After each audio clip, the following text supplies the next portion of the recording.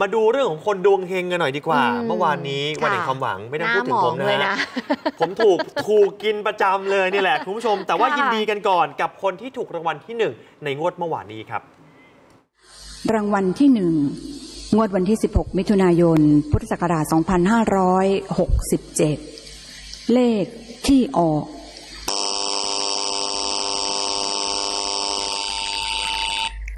ห้าหนึ่งแปด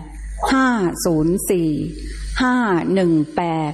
ห้าศูนย์สี่ฟังอีกครั้งค่ะนี่แหละคุณผู้ชมครับ นี่คือรางวัลที่หนึ่งคนถูกไปเนี่ยค่อนข้างจะเยอะเลยนะฮะ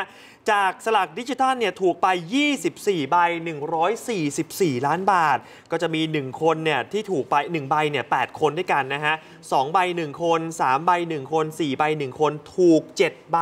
1 คนด้วยกัน รับไปเต็มๆ 42 ล้านบาท โอ้ค่ะโห โชคดีมาก ๆ เลยนะฮะ ทีนี้พาไปดู โฉมหน้าของเศรษฐีชาวชัยภูมิกันหน่อยคุณผู้ชมครับ นี่เขาโชว์เลย ถูกไป 2 ใบผีค่ะคัสเปอร์ให้โชคค่ะนะฮะรับไปเต็มๆ อยู่ที่ศาลปู่จันมา คนนี้ครับชื่อว่าคุณอุทัยนะฮะอายุ 62 ปีก็อาชีพเนี่ยรับเหมาก่อสร้างก็โชว์เลย นี่คือรางวัลที่ฉันถูกนะ 12 ล้านบาทบรรดาพี่น้องญาติญาติก็มาร่วมแสดงความยินดีกัน โดยเจ้าตัวเนี่ยเดินทางครับไปกราบไหว้ศาลปู่จันมา ก็อยู่ในพื้นที่ตำบลผักปังอำเภอภูเขียวจังหวัดชัยภูมินะฮะก็ถือว่าเป็นสิ่งศักดิ์สิทธิ์ที่นับถือหลังจากที่ว่ารู้ว่าตัวเองเนี่ยถูกลอตเตอรี่รางวัลที่หนึ่งไป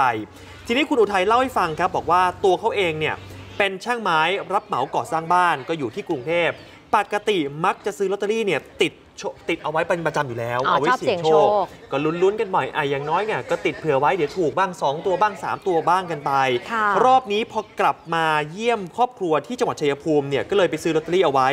หวังเพียงแค่ถูกเพียงแค่ 3 ตัวท้ายหรือ 2 ตัวท้ายเองนะฮะอืมแต่สุดท้ายถูกไปเลย 6 ตัวค่ะรับไป 12 ล้านบาทด้วยกัน จริงๆเนี่ย ตอนแรกเลยกะจะซื้อ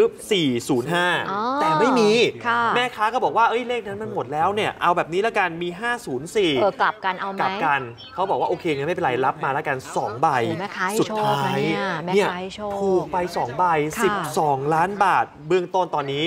ลงบันทึกประจำวันเอาไว้เป็นที่เรียบร้อยแล้ว เดี๋ยวเงินส่วนหนึ่งจะเอาไปทำบุญและอีกส่วนหนึ่งจะเอาไปใช้หนี้ครับ ไม่ได้ฝันอะไรครับ แล้วเราเอ่อไปซื้อที่ไหนครับที่เอาในภูเขียวหรือที่จังหวัดอื่นซื้อที่ตลาดภูเขียวครับวางแผนก็คือ อันดับแรกก็คือต้องทำบุญนะครับทำบุญทำบุญถวายพระสงฆ์ที่เราเคารพนับถือ แล้วมีมีหนี้มีสินอะไรไหมครับก็มีนิดหน่อยครับมีนิดหน่อย มีนิดหน่อยอ๋อ ก็ถือว่าโชคโชคดีมากเลยอะแสดงความยินดีกับคุณอุทัยด้วยนะคะ เอาจากจังหวัดชัยภูมิมาดูคนดวงดียังไม่หมดแค่นี้ชนบุรีก็มีเหมือนกันค่ะครับชาวบ้านชุมชนวัดห้วยสูบกว่า 30 คนอันนี้เฮลั่นอืมอย่าตกใจนะ ไม่ใช่ถูกรางวัลที่ 1 30 คนนะคุณผู้ชมครับแต่มีคนดวงเฮงถูกเลขท้าย 2 ตัว 3 1 10 ใบโอ้บรรยากาศที่วัดห้วยสูบก็เลยคึกคักอย่างนี้แหละค่ะ เป็นชาวบ้านกว่า 30 คนมากราบไหว้หลวงพ่อใหญ่ หลังจากถูกรางวัลเลขท้าย 2 ตัวกันไปไปคุยกันหนึ่งในผู้โชคดีกันหน่อยนะคะ คุณลุงสมชายอายุ 74 ปี บอกว่าคือถูกเลขท้าย 3110 ใบ มาขอโชคลาภจากหลวงพ่อใหญ่ ด้วยการล้วงไหปิงปองแล้วได้เลขตรงๆเลย 31 เป๊ะเลยค่ะอ๋อก็เลยไปหาซื้อลอตเตอรี่ที่มีชาวบ้านที่มาด้วยกันเนี่ย ก็ชวนกันไปได้เลขนี้ครับไปเสี่ยงโชคด้วยกัน ตอนนั้นขอพรว่าถ้าถูกรางวัลจะกลับมาถวายดอกไม้ทุบเทียน เพราะตอนนี้ก็เหมือนลำบากอะค่ะครับค่อนข้างจะขัดสน ไม่คิดว่าจะถูกรางวัล ดีใจนะคะที่นอกจากตัวเขาจะถูกรางวัลแล้ว เพื่อนๆที่นำเลขไปซื้อตามก็ถูกไปด้วย รับโชคกันไปคนละ 10 ใบค่ะ ได้ขอพรอะไรไหมก่อนจะไปซื้ออย่างเงี้ยขอว่าอะไรไหมก็ขอให้มีโชคดีไปล้วงได้สามหนึ่งเนี่ยเหรอก็ต้องมีมีหายให้ล้วงมีหายล้วงเนาะอันนี้ถูกกี่ใบครับวันนี้ อันนี้สิบใบโอ้สิบใบเนาะคนละสิบใบเลยเหรอครับมีโชคด้วยกันใช่อืมจะถูกขึ้นเยอะเราก็ถูกใบสองใบขอเอี่ยว ทีนี้เนี่ยก็มีชาวบ้านเนี่ยนำประทัดนะฮะ2,000นัดเนี่ยมาจุดถวายกับองค์หลวงพ่อใหญ่ด้วยแน่นอนว่า พอหลังจากจุดกันไปเสร็จปุ๊บหลายคนก็ไม่พลาดเลย ที่จะดูเลขหางประทัดกันเนี่ยคุณผู้ชมฮะอะเดี๋ยวขอซูมเข้ามาใกล้ๆเลย นี่เลขนี้ผมขออนุญาตไม่พูดแล้วกันนะฮะ เดี๋ยวไปรอลุ้นกันต่อ เพราะว่า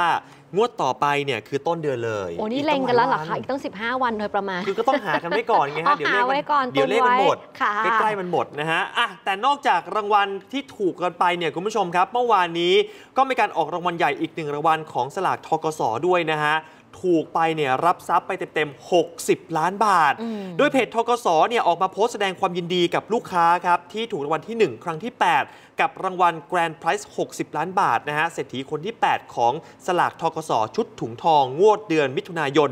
รอบนี้เนี่ยเป็นของลูกค้าสาขาลาดกระบังกรุงเทพนั่นเองนะฮะเอาเป็นว่าจะถูกรางวัลที่ไหนยังไงก็ตาม ยินดีกับเศรษฐีใหม่ทุก ๆ คนด้วยนะฮะค่ะอะ เราก็ตั้งหน้าตั้งตาทำมาหากินกันต่อไปนะคุณยศนะงวดต่อไปยังมีหวังนะฮะงวดนี้หนักไหมล่ะ ไม่หนักครับ